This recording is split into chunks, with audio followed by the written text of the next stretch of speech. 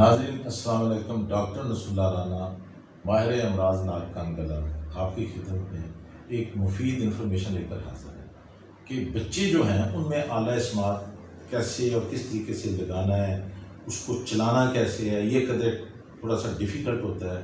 जो बड़े हैं, जवान हैं, बूढ़े हैं, उनको आप समझा देंगे, वो लगा लेंगे कोई इतना बड़ी बात नहीं। लेकिन छोटे बच्चा आप दो साल का है, तीन साल का है छः माह का है उसके लिए थोड़ी सी जो मदर्स हैं, उनको ट्रेन करना पड़ता है कि आपने किस तरह लगाना है, किस तरीके से लगाना है, फिर अंडर दी वी लगाना है, वरना वो लोग कहते जो थे बच्चे ने तोड़ के छोड़ देता वो बच्चे ने गुम कर दिया।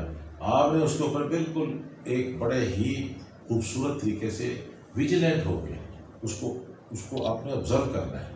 बच्चे को गोद में लेके उसके लगा के, थोड़ी बहुत उससे बात भी करनी है। उसी को स्पीच थेरेपी कहते हैं। जब आला लगता है तो आले का मेन मकसद ये है कि बच्चा थोड़ा सा सुनना शुरू करता है। जब माँ जो है वो खुद बोलेगी, वो गिनती बोल ले, वो जो भी स्पीच थेरेपी की मुख्य टेक्निकल है, बाकी प्रॉपर स्पीच थेरेपिस्ट भी हैं पहले लेकिन पहले आले का अच्छे तरीके से लगना, उसका डायग्नोसिस है। जो बच्चे छोटे हैं, उनके लिए अब टेस्ट आगे हुए हैं, बहुत छोटे छोटे बैरा टेस्ट है जैसे। तो पहले तो प्योर टोन आइडियोमिटी थी पीटीए अब एक बैरा टेस्ट है। अब उसके साथ बहुत ही छोटे छोटे बच्चे और उनमें जो बहुत ज़्यादा मसाइल हैं नर्व डेफनेस है, अब डेफनेस भी दो तरह की है बेसिकली एक कंडक्टर होती है, एक रिसेप्टिव डेफनेस है, ये सेंसिटिव जिसको कहते हैं। अब कोई ऐसी बात नहीं, अल्लाह या समाज जो है, उसका हर एक में रोल है। इवन कॉकलियर इम्प्लांट में भी रोल है। जब कॉकलियर इम्प्लांट कर देंगे, बाद में भी उसको लगे होते हैं, उसको फिर स्पीच थेरेपिस्ट अच्छे तरीके से, बच्चे को एजुकेट किया, पूरा एक प्रोसेस है। ये आसान काम नहीं है। बहरापन को ठीक करने के लिए बड़े सब्र की ज़रूरत है। बड़ी आप में हिम्मत हो, जज्बा हो और चार पैसे भी उसके ऊपर खर्च होते हैं। ये you have to spend time energy money तो अल्लाह करेगा, उसमें आपका अगर बच्चा जो बहरा है, जो सुन नहीं सकता, वो अगर इस काबिल हो जाए कि वो सुने जब वो सुनेगा तो बोलेगा भी। जब बोलेगा तो माशरे का एक्टिव रुकन बन जाएगा। वो मतलब आपका कारोबार, आपकी जो, वो अपने जॉब पे होगा, अपनी फैमिली के लिए यूज़फुल होगा। लेकिन otherwise he is like a sick unit जो एक बीमार, जो बच्चा बह रहा है दस साल का है, आठ साल का है, चार साल का। वो ऐसे जैसे एक इकतदी यूनिट एक टेक्सटाइल मिल है, उसके ऑर्डर ही कैंसिल हो गए, कि जी बिजली नहीं मिली सुई गैस नहीं मिली तो ऑर्डर ही कैंसिल हो गया, वो बिल्कुल ख़त्म हो जाती है। इस तरह वो जो बच्चा सुन नहीं सकता वो माशरे में क्या करेगा? वो सिर्फ़ एक स्टैचू की तरह होगा।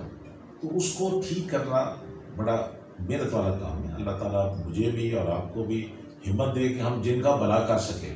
एक मुल्क फतह करने से बड़ा काम है कि अगर आप एक बच्चे को ठीक करके माशरे में एक फाल रुकन बना दे, वो माशा पढ़ जाए, फिर अच्छी किसी कोई भी जॉब पे आ जाए, कारोबार करे। But he should be a normal person normal person बनने के लिए सुनना बहुत ज़रूरी है। सुनना एक ऐसी बड़ी अल्लाह ताला की नेमत है जिसका आम आदमी को पता ही नहीं है कि ये अल्लाह ताला ने ये देखो, ये जो बाहर कान बनाए, ये तो सिर्फ़ ब्यूटी एक्सटर्नल ब्यूटी के लिए असल कान अंदर है और वो बहुत ही सेंसिटिव सा है। और उसका काम सिर्फ़ कान का सिर्फ़ सुनना नहीं है।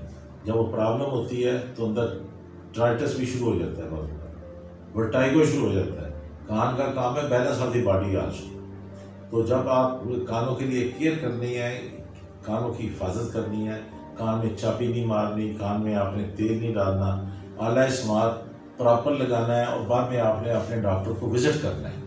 महीने, दो महीने बाद जाके कि भाई आप देखें डॉक्टर साहब क्या जैसे आप शुगर का मरीज़ है ब्लड प्रेशर का है तो दवाई जाके चेक कराता है कि जी आपने आज की मेरी शुगर है, उसके मुताबिक देख लें। तो इसलिए मैं आपको ये इल्तमास करूँगा कि आला समाज छोटे बच्चों में जब आपने लगाना है तो बहुत केयरफुल हो कि under the direct of the mother माँ बच्चे को अपनी गोद में लेके एक ड्यूटी दे, आधा पौना घंटा जितनी देर उससे लगाना है छोटे बच्चे को, ताकि वो उतार के अक्सर फेंक देते हैं। बेचारों के काफ़ी पैसे ज़ाया हो जाते हैं। पेरेंट्स आते हैं कि जी बच्चे ने पाले तोड़ पाले छोड़ तब पता नहीं चलेगा क्योंकि आपने उसको इतना नहीं वो, माशाल्लाह, जिसको कहते हैं फॉरन ठीक है विद पैसेज ऑफ़ टाइम बच्चे फिर यूज़ टू हो जाते हैं लर्न करते हैं।